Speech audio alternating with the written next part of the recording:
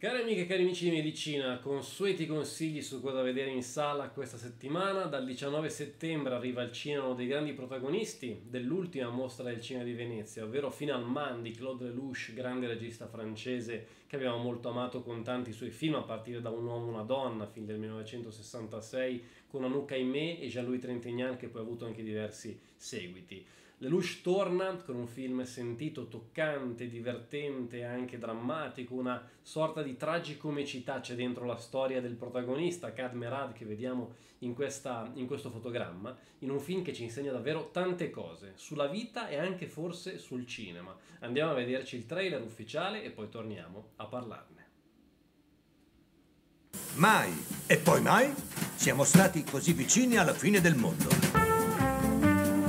Non sei stanca che non facciamo più l'amore?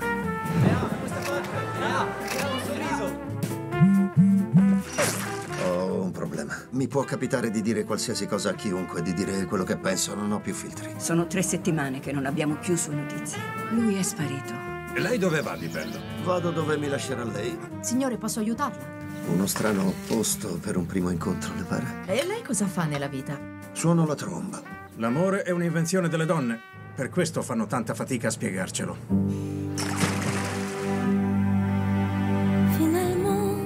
Basta di sciocchezze, non si può dire quello che si pensa in questo mondo. Dei fiori! Chi è quello? Un matto. Adorerei essere così. Finalement, chacun devant Ogni cosa che facciamo nella vita è per amare o per essere amati. Finalement, chacun de nous.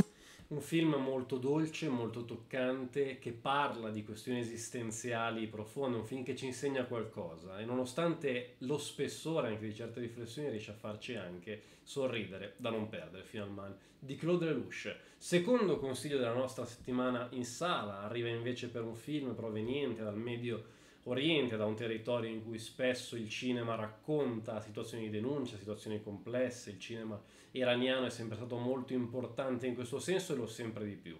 Il film si chiama La bambina segreta e andiamo a conoscerlo meglio con il suo trailer ufficiale. Hai detto stasera. I miei stasera vengono qui a Teheran. Arrivano tra circa sei ore.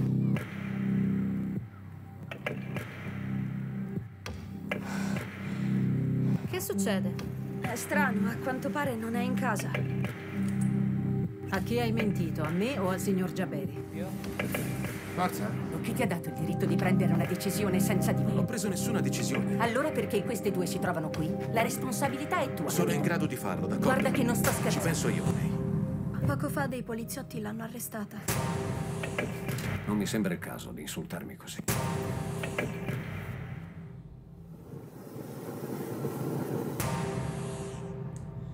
Un film molto forte su tematiche di libertà, femminilità, maternità, un film di Ali Asghari, regista che abbiamo già conosciuto con diversi altri prodotti importanti in passato, un film molto forte, incisivo da non perdere per conoscere una situazione che deve essere conosciuta. Il cinema in Iran spesso è un'arma per poter raccontare certe storie. Io vi ringrazio per l'attenzione, andate al cinema a cercare questi film e non ve ne pentirete.